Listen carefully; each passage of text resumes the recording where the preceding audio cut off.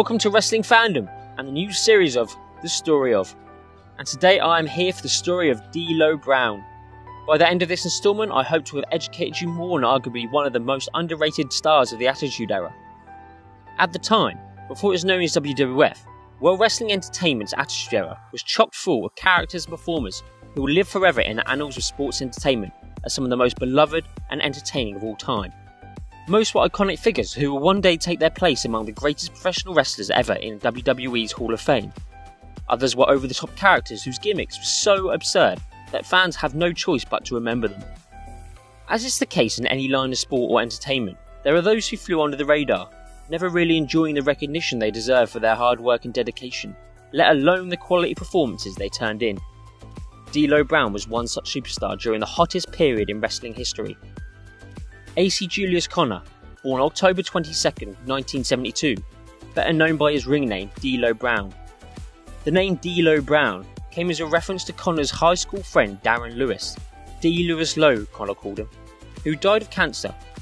Connor asked Lewis's mother if he could use the name as a tribute to her son. Connor began his wrestling career in New Jersey as AC Animal.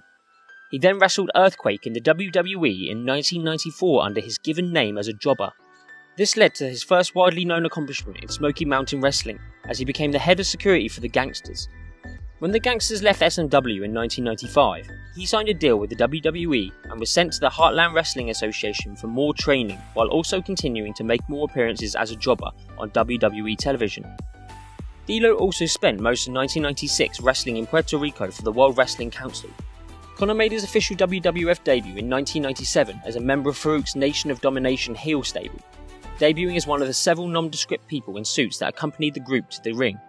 During this time, his most notable moment was when Ahmed Johnson slammed him onto the roof of a car during Shotgun Saturday night. His first televised match as a member of the nation was on the April 26, 1997 episode of Shotgun Saturday Night, as he, Crush, and Savio Vega defeated Aldo Montoya, Steve Corino, and Freddie Joe Floyd. On May 26, 1997, he had his first match on Monday Night Raw which was called is War at the time, defeating Bob the Sparkplug Holly.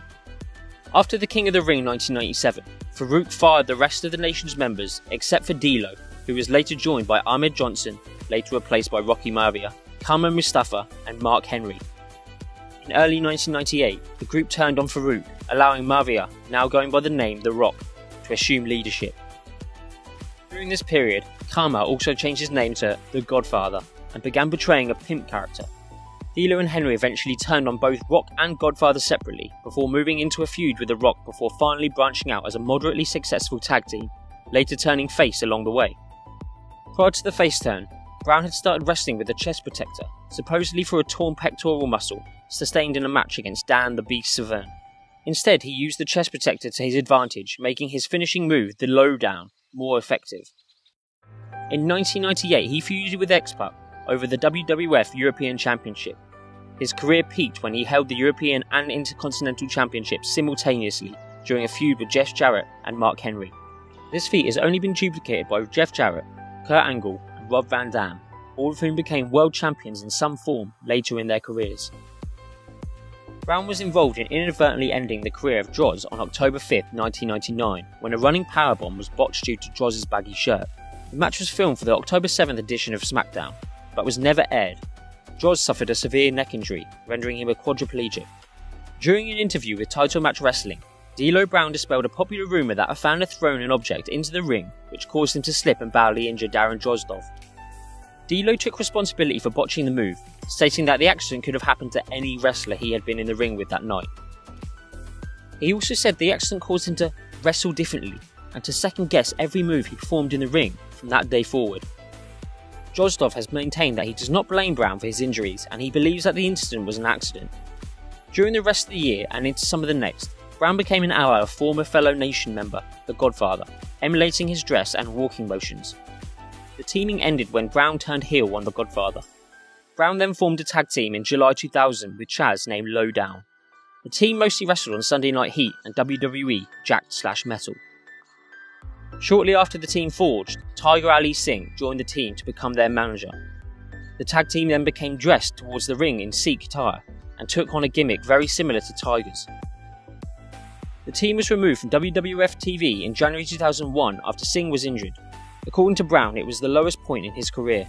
Chaz and Singh were later released by WWE, while Brown stayed in WWE's developmental territory, OVW. Notably, Brown wrestled future world champion Batista in a losing effort. Brown also spent six months in Puerto Rico wrestling for the International Wrestling Association, teaming with Glamour Boy Shane holding the IWA Tag Team titles. Brown returned to TV on the April 28, 2002 episode of Heat, losing to Eddie Guerrero. For the rest of the year, Brown mostly wrestled on Heat, did a little bit of a commentary on the show, and even started a brief feud with Raven. In late 2002, Theodore Long retired as WWE referee and managed D'Lo, who had complained about acts of racism during his matches. D'Lo started Long's group, Thuggin' and Buggin' Enterprises, which eventually turned into a group of African Americans who worked an angle in which they felt they were victims of racism and were being held down by the white man. With Long's managerial services, D'Lo Brown went undefeated for several weeks. Brown faced Booker T in a losing effort on the February 10, 2003 episode of Raw. His involvement with Thuggin' and Buggin' Enterprises was brought to a close when footage was shown on the February 16th episode of Heat of Theodore Long kicking D'Lo Brown to the curb and introducing his replacement Rodney Mack. He was then released from his WWE contract on February 14, 2003. A stint with the upstart TNA wrestling promotion presented Brown with the opportunity to rejuvenate his career, and he seized said opportunity, turning in several great performances against then NWA champion AJ Styles. Brown was instrumental in helping the young star develop into the great performer he became, something he does not get enough credit for. Together they delivered several quality bouts in the summer of 2003. Although he failed to wrestle the title away from Styles, that was not a bad thing. After all, Brown was a quality wrestler, but TNA really needed to focus on the future, and Styles was clearly it.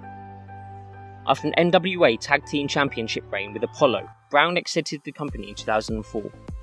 He would return years later as an agent, working behind the scenes to develop young talent. In 2008, Brown made a brief return to WWE as an on screen character. A trial earned him a spot back on the roster, but WWE Creative had little for him to do. After appearing on Raw a handful of times, including a match against Santino Marella, in which Beth Phoenix got involved, he was gone from WWE again, never to return. At least not yet. In September 2009, Connor was re signed by TNA as their lead agent.